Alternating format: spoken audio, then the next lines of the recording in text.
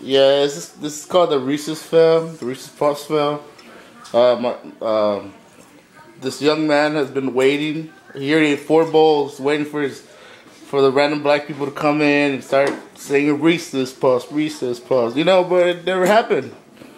Is that false advertisement or or what? I don't know what to call it. I mean, he's he's very upset because because he you know he didn't even get his rap concert going on. I hate Reese's Puffs now.